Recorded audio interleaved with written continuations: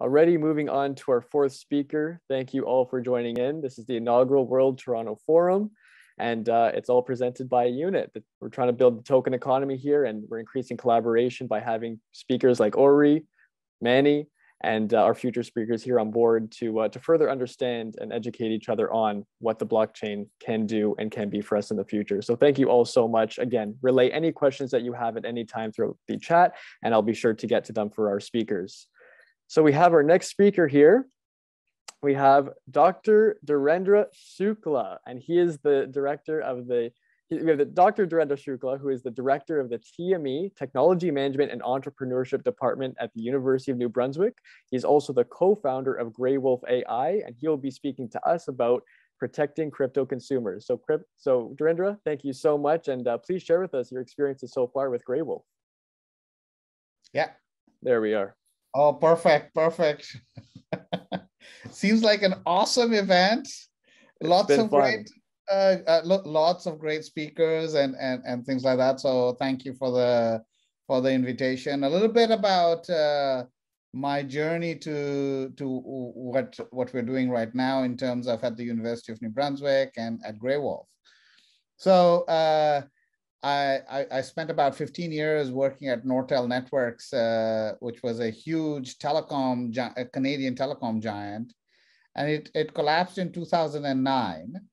And at that point, uh, I said, let me try something uh, new, something exciting. And that's when I joined uh, the University of New Brunswick uh, to, beca- uh, to lead the, the center and, and the technology management and entrepreneurship program. And since then, we've we've been recognized as uh, you know one of uh, Canada's most entrepreneurial university, which is quite exciting. Uh, and uh, you know, and and how does how what's the journey like in terms of how Grey Wolf was formed? Was that uh, uh, during that time frame when I since I joined, there there were two huge exits that happened in in New Brunswick. One was Q1 Labs and Q1 was bought out by uh, by IBM for around 600 700 uh, million dollars. And what they were doing was tracking uh, attacks cyber attacks that were taking place. And then and then uh, the other exit that happened was Radian 6 that was bought out by uh, by Salesforce uh, for about 300 plus million dollars. So quite an exciting movement. And, and when, I, when I was looking at that, in parallel, all we could hear about is crypto and things happening on crypto, not in a positive light.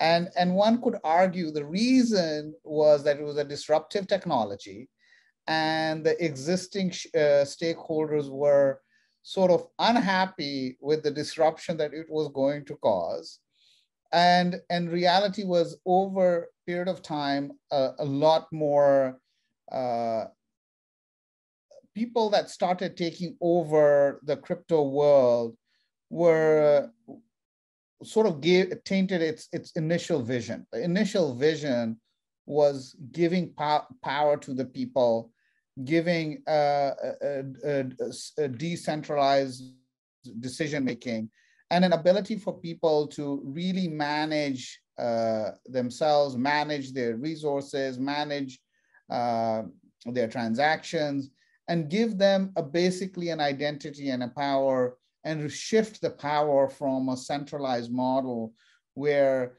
the whole model of too big to fail and the taxpayers were bailing them out. So, so this it was a it, the concept of crypto was a beautiful concept.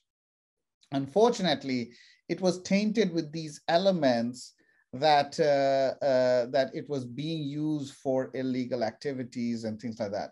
So what I what what what happened was connecting the two. Eh, one was looking at what is happening on the social media, what is happening in terms of social media monitoring that uh, Radian Six was doing, and then connecting it to cyber attacks that Q1 was doing. I said, how can we take the world of the crypto network and connect that to the world that is happening around the crypto from uh, from the, whether it's the dark web or media or what people are saying how can we connect those two worlds to create a, an ex, exciting environment to set a context of what fraud and, and, and, and things were taking place. Hence comes this, uh, this uh, awesome student, while I'm you know, mentally thinking through this, uh, uh Matthew Sampson, and he says, you know, I want to do some AI related work. Uh, I'm, I'm looking for something exciting. And the passion and drive that he had was simply incredible. And, uh, and I said, look, uh, why don't you try this project? Uh, uh, uh, you know, looking and at what's happening on cryptocurrencies, look at what's happening on, at, at that point, to the initial coin offering, ICO market was really hot. And, and we were working with the Securities Commission to look at the fraud and scams that were taking place. So he became entrenched into developing the underlying technology. And what is amazing about his efforts was that uh, uh, that he was so keen to learn, so keen to develop the product, that uh, we began to think, look, uh, this is an exciting space. It's exciting because it, it go, goes back to the original concept of what cryptocurrencies and Bitcoin was actually set up for. It was set up for uh, giving people power, and it wasn't set up for uh, enabling scams and, and, and illegal activities. Come forward, he developed very quickly, gravitated towards developing this product, we went out there. We were so pumped. We we we showed it to the Securities Commission. They were very excited, and and then oh, you know we we said where else could we use this and things like that. We we formed the company, and uh, you know since then we've worked globally around looking at fraud and what's happening, helping so many people uh, it's been incredible. And obviously, there was a recent article in the Financial Post talking about uh, about how we were able to help the city of Fredericton uh, when when when they were hacked and ransom was uh, requested. How we were able to help uh, uh, manage their risk, work very closely with them, and and identify you know where where this was happening, what was happening, how they could the steps they should take to protect themselves. And it came, it came down as, as a great story that was covered nationally. And since then, our emails and, uh, and things have blown up for more and more people asking us to help them, asking us to work with them. And while it's very exciting from a business angle, it is becoming very uh, clear that uh, the platform continues to be plagued by people that are using it for uh, for uh, they're bad actors and they're using it for uh, enabling uh, uh, bad things, uh, suspicious things, and we continue to we struggle with that with that in the continue to struggle with that in the media, continue to struggle with people questioning uh, the validity of, uh, of the crypto platform and what it's able to do.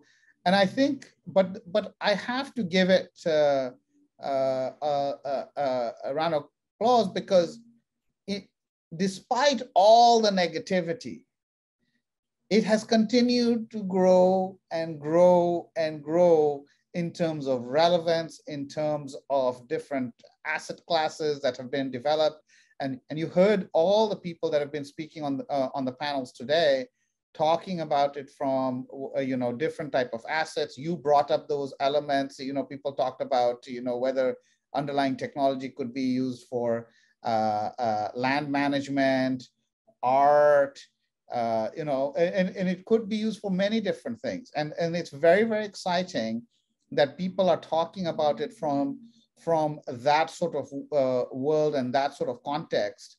And it becomes very exciting for everyone to be thinking about what next, where is it going.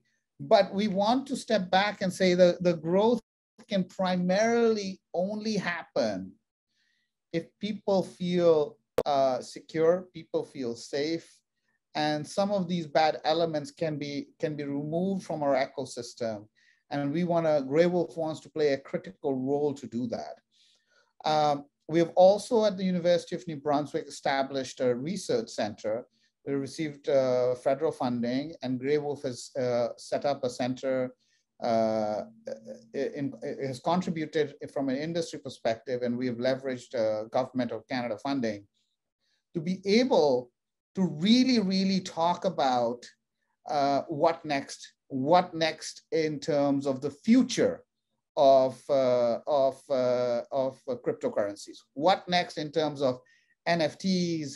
What next in terms of, you know, people are already talking about it and we are buzzing because you're talking about metaverse, we're talking about all those things from a gaming and and all of those that world of, uh, that will simply enable cryptocurrencies to play a critical role uh, in in moving that agenda forward and Grey Wolf wants to be that partner with companies, partner with government, partner with, uh, with institutions to provide a safety net, uh, provide a, a degree of security for people to believe that this world is there and a group of people acting to help and protect them.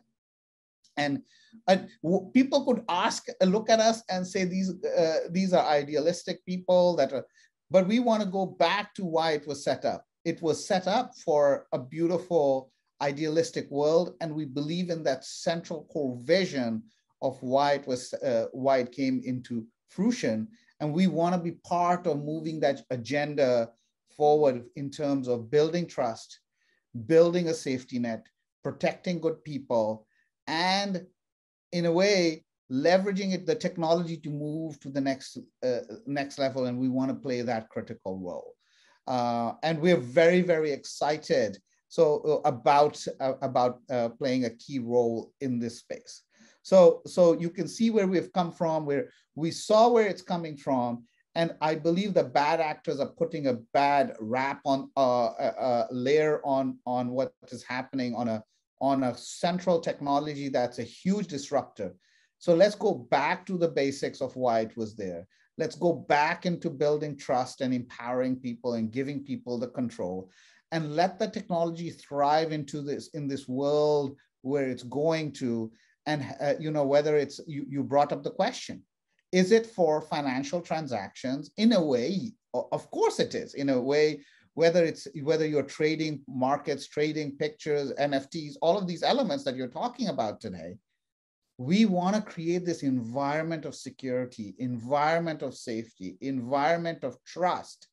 And, and as a result, enable the next billion people to be onboarded onto this uh, onto the platform because they feel safe and secure and really have fun and feel empowered to do amazing things and you're you're hearing it today and that's why it's such a buzz today you're hearing people talk about the changes and shifts that are taking place in technology. And it's happening now. And it has gone from people just talking about that it won't happen, it won't survive, it won't thrive. And we heard it when we founded a Graywolf. We heard it every day. Why are you doing this? It won't be around for long. Government will clamp down. You, uh, you know, this, this industry will be shut down. It hasn't. Actually, it's thriving. And in that, as it thrives, we want to be part of that journey. We want to be have uh, from a university angle, bring in thought leaders, do incredible amount of research on cryptocurrency and blockchain. At the same time, from a Graywolf angle, look and work and partner with companies and entities and organizations that really believe in the technology and want to power a path forward that is kinder, gentler, and creates trust and transparency in a frictionless way. And that's the Graywolf uh, model that we have. So, so I, will take a moment uh, to, to breathe. And, and, and then obviously there's more we can talk about in terms of what Grey Wolf is doing right now uh, and where it's going. But uh, I wanted to take a moment to breathe, have a sip of water, and, and, and uh, uh, ask any questions that you have, and then we'll go back to a little bit more about Graywolf. For sure. Yes, yes. There's so much to absorb and, and digest there. So thank you for sharing uh, the, the absolute necessity we need for safety in the crypto space because it's true. There is a bad name because there are bad ap- actors and people are using it with malicious intent. However, the more safety, even as uh, alluded to in the last talk with Ori, the more safety, we will start to see greater adoption and um, a sense of solidarity with this this new system we're all trying to build here. I see. I have to mention it that uh, that your co-founder and CEO is also here in the chat, Mr. Matthew Sampson. So hello, thank you so much, sir, for joining. It's uh, it's a pleasure to see you both, and uh, it's absolutely beautiful what you guys have been working on together. Congratulations, you guys have just secured another round of funding, and it's all in prosperity. What I am very curious about is, um, is, is is your business model. So how are you going about this? You say you want to partner up with different companies. Are these dexes? Are these DAOs? Are these um, centralized companies, or are they the actual cryptos themselves per se? So, so we we are. Uh, you're right. We are. Uh, we have two models. One is working closely with uh, uh, uh organizations, companies that are focused on DeFi, and helping them look at uh, market manipulation and fraud. We're we're working on that. That's quite exciting and mm-hmm. relevant and new. And we're I don't want to uh, I want to be careful. I don't mention some of our partners because uh, there, are strategic elements to that. and uh, uh, but uh, and what we're finding and what we're feeling, it, and it's very exciting about how we're able to look at fraud. Market manipulation and really move the needle on those conversations too. But what type of partnerships we're forming. We're forming partnerships like, like what we formed with the city of Fredericton, that uh, next time they're hacked, next time uh, something ha uh, uh, strange happens, the, we are on a, a, a, phone call away to start investigating and partnering with the law enforcement and uh, and with uh, with the city the city themselves, as well as the insurance companies. So we are forming this consortium of people that are working with us to move the agenda of protecting in a broader set and, and bring the lessons learned on, on our platform. So we enable that conversation to take place. Then we partner with uh, crypto ATMs and uh, crypto exchanges to look at uh, uh, and report fraud and scams that are happening early. So as, as people report uh, the, the fraud and scams that are happening, we're able to capitalize on that, run our AI tools to see how big this implication is, who else from a portfolio perspective could be impacted and stop future uh, uh, future scams and frauds taking place. So we we we we have uh, we're working overall from a uh, from a company perspective anything related to threats, risk, fraud, scam, uh, whether it's market or uh, uh, people ransomware, all of those things taking place, or you know, there's there there are people that are uh, scamming people with with mental health issues, scamming people that are elderly, love scams. There there are people being targeted uh, recently targeted that uh, that were recently divorced and people they were being targeted. So much that we are uncovering and we are right in the midst of things a mix of things to begin to unravel ways and techniques to respond faster act quickly and address the needs uh, and uh, of uh, of those organizations and protect their customers. So it's mm-hmm. all about acting quickly in in the crypto world and and we want to be the environment that that that makes that happen. Interesting. Wow. So can you take us through that experience with what happened with the city of fredericton? As you said there was a, a post that was mentioned about it. And how did they know to come to you guys and what exactly what steps did you guys take uh, to make sure? Because it's, it's quite the story. I'd love for everyone to hear about it. It's a beautiful great story and the, the amount of doors it's opened. So reality is that like i'll go back to this element when eh, whenever you tell anyone that you're in the in the crypto space, the first thing they say, oh no. So we were supposed to do a demo for the city of Fredericton about what we're doing and stuff. And we waited for an hour and they didn't show up. So so what I said was, okay, so I guess this is uh, we, we get the hint we should leave. As I'm I'm leaving the building, I get a call from uh, from the city saying, "Forget the demo. We've been hacked, and they're asking uh, oh no, they need you right away. Right. So so you can imagine, right? Like this is this is how unbelievable the story is. So we're like, okay, we're in Fredericton and we are in the midst of raising around and the the city has asked us to help them if we say no what signals does it send to our investors and our customers? So we have to say yes and we have to respond and and really spend the time energy to do it. I give all credit to uh, to the team and and and Matthew who is here spent uh, you know spent the weekend crafted the report sent it out uh, within a, very short uh, period of time to tell the city look this is what's happening. You need to be careful about what you do as the next step. So we within a, a two hours we were able to send out recommendations for the city and what they should be doing. What had happened was the hackers has taken over the Instagram account and were putting family pictures of the account manager's family and what she was doing and kids and stuff like that, as well as putting soft porn. Um, and so it was really getting the staff at the at the city really uh, concerned and they were losing a lot of followers it was having large implications on business large uh, implications on the morale of the staff and we said, okay, these are the steps you need to do. This is this is who you need to work with. Then we triangulated with with the information they'd given us to where the the the, the hackers were, even though they were presenting that they were for somewhere else. We were able to provide that insight. We were able to provide that those that type of information to the police and the RCMP to drive their conversation to the next level. Then we presented it to the insurance company it was just phenomenal. Uh, we were able to act with speed, and and uh, the city itself has big, uh, became our biggest advocate for what we're doing, and be, we began to address a need where where they were just putting up their hands and saying, we don't know how to act on these things. We don't know what, what to do.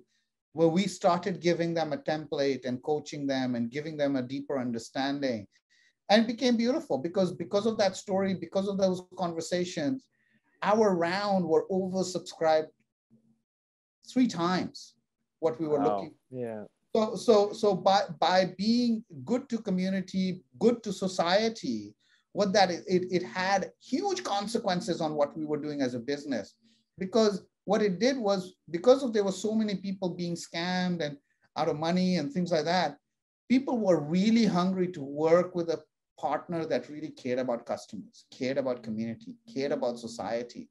So the people that reached out, people that wanted to invest in this space, it was incredible. It was simply an incredible, incredible journey. And, and I wanted to add, as, you know, as we are looking at crypto and we're tainting it with this, uh, uh, with this lens that there is a lot of scam and fraud taking place, what what is missing from this whole angle is that even from a fiat where the traditional money is a lot of fraud and uh, scams are taking place there too but at this point there, there is such a lens and a focus on this new technology that that we need to we need to move uh, to a better place and Grey Wolf wants to enable that. And that's what you guys are doing. Precisely. Look at that example. And you guys are able to clear it up right away so uh, cheers to the city of fredericton. We, we love that. And it's going to become more globalized soon. I'm sure as you said you had partnerships with uh, some major companies and uh, you're moving forward at, at a swift pace. Uh, what i'm curious about is do you guys have a multi-layered service approach where you provide a consulting service but also simultaneously offer your um, your interface so as to track if there is money laundering going on and and, and fault uh, you know faulty acting? Yeah, uh, you, are you're, you're absolutely right. Uh, that that initial consulting service uh, sort of helped us pay our initial bills in a way, and and the, and that uh, and and our company um, organizations putting us on retainer to help and all of those things. But at the same time, we have a platform for people to log log on, their uh, capture fraud they're experiencing, share that, investigate all of those things Uh, and and in other cases, there, there's uh, they just have access to their our API and do API calls. So so so so the, the, the three sort of ways that we are we, we are addressing the market right now. So so service, uh, and then uh, and then obviously looking at it that you have access to our UI, our platform to use, capture, and and communicate fraud and, and scams that are taking place very quickly and effectively. And it just, just generates a report for you that you can send out, as well as at the same time, you know, API access that you want to connect to a broader scope of things that you're doing. Okay, I see. So there's there's a range of, of problems to be solved, and you guys are, are tackling that and work directly with these companies. Well, and and and that, that's why the partnership is a key model because as a small startup, what we're planning to do is as we align with companies, what are their risks? What are they concerning? We want to have a pulse on things that are going wrong so that our product continues to be relevant and responsive and act.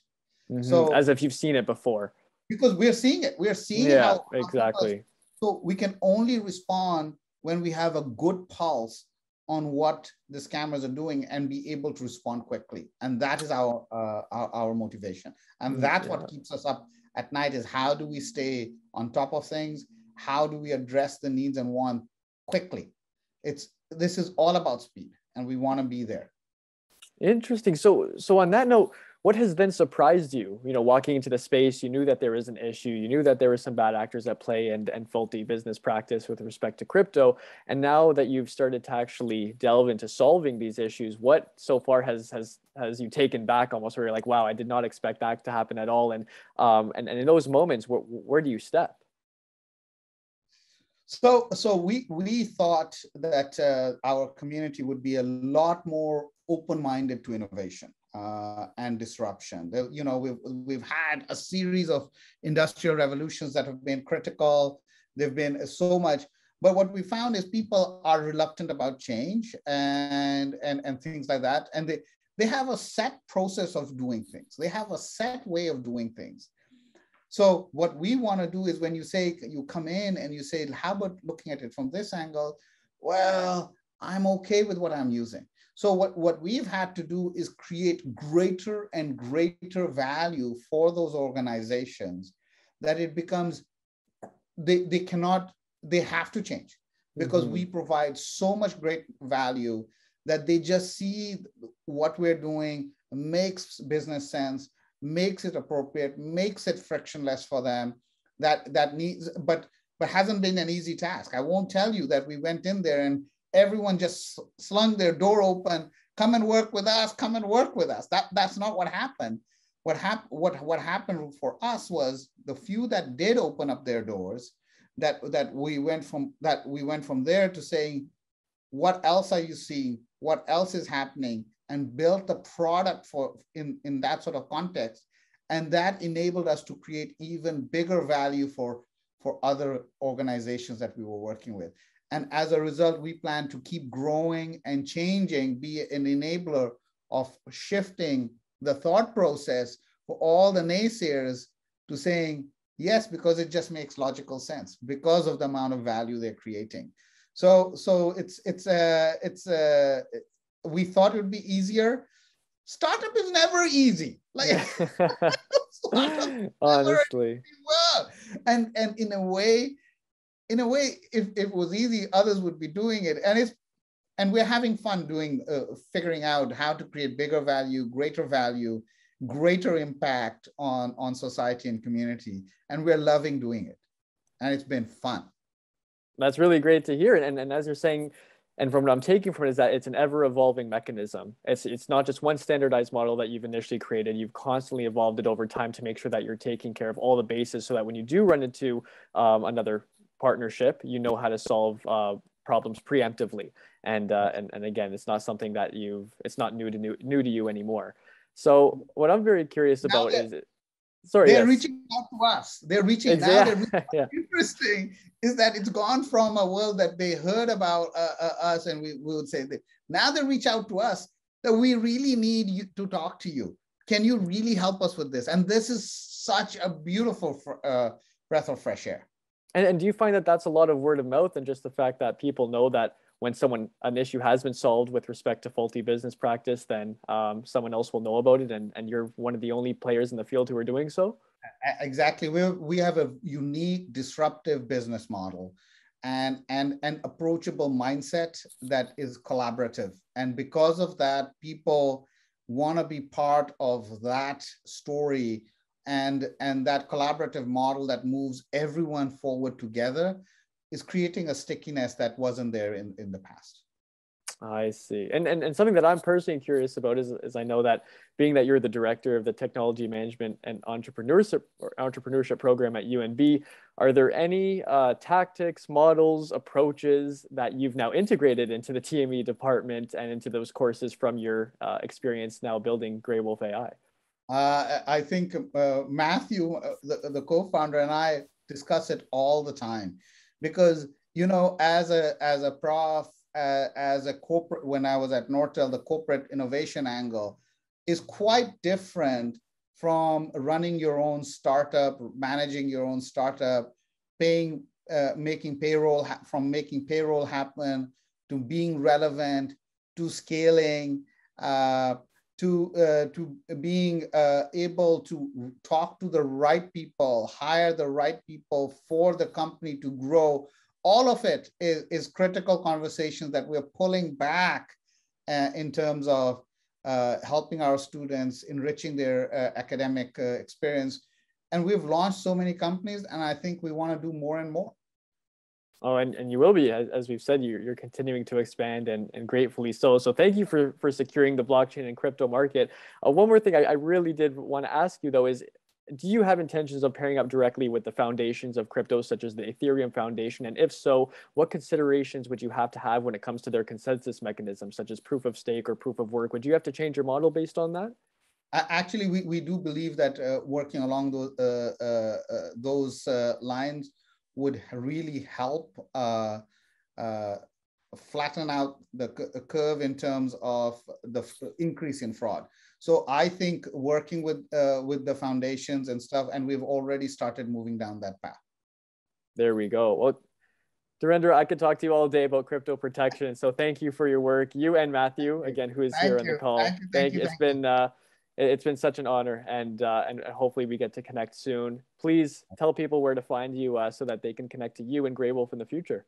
Thank you. Thanks. Thanks. Thank you anthony. Cheers. Enjoy yourself. Thank you. Bye